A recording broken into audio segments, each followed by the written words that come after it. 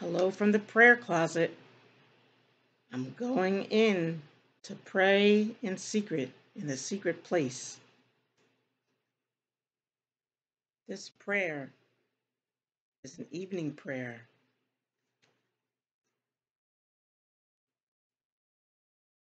My evening of rest is led by the pillar of fire. Blessed are you, Lord our God, who leads me into the time of evening rest by the stillness of your waters. You are my lantern, leading me through this night. I welcome your glory to fill my evening with your light. I welcome the water of Holy Spirit to wash me clean from any ungodly residue from this day. As I remember all you have done for me today, I lift up holy hands to you with praise and thanksgiving.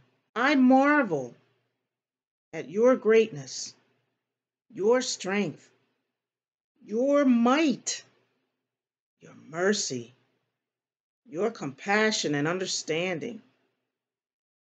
You are both ends of the spectrum from a great and mighty force to tenderness with loving kindness. Such attributes about you keep me intrigued, awestruck, and captivated by you. I declare that you are my hiding place of refuge from the storms of the day and night. I proclaim that you gloriously cover me under your mighty wings and keep me safe with you in the nest of heavenly dwelling places. I declare my nighttime clothing is Psalm 91.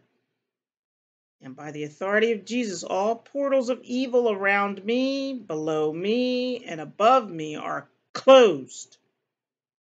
The Lord Jesus has commanded his angels around me and my family in the day and in the night to guard us and keep us from the evil assignments of the devil against us. I am still holding the keys given to me from Jesus of Nazareth. And I command by his authority that the strongholds of evil, the demonic strongmen and their cohorts, cannot come near me, my family, nor my community. All ability to operate against us is shut down, and all evil assignments against us are canceled. In the name of Jesus, I apply the sacrificed blood of Jesus to me and my family and all that is ours, including our gates and doorposts, our property and dwelling places, our animals and vehicles, covering our ear gates, eye gates, and mind. As I enter into this night, I declare that I am listening to all the mysteries you have planned to speak to me. And I surrender to you this night for whatever you desire to do for your glory. I declare this night that the Lord my God is in my midst, willing to save me. I declare this night that the Lord my God is rejoicing over me with gladness. I declare this night that the Lord my God will quiet me with his love.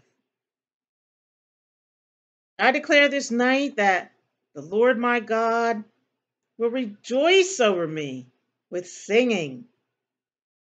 I declare this night that I will both lie down in peace and sleep.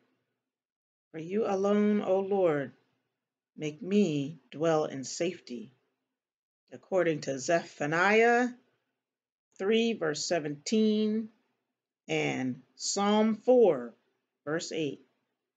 In the name of the guardian of my soul, Jesus of Nazareth, amen and amen.